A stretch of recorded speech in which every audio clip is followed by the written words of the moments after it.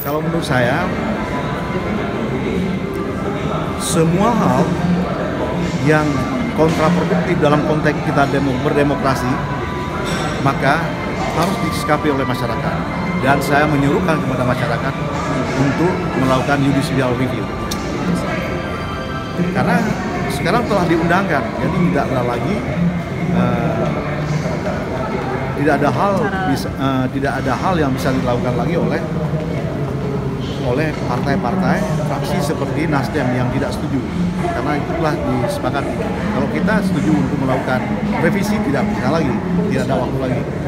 Maka satu-satu cara adalah maka masyarakat melakukan judicial review terhadap pasal-pasal yang dianggap itulah bertabrakan dengan demokrasi kita. Nasdem sih pembuka peluang buat masyarakat pak, membantu masyarakat. Nasdem sendiri.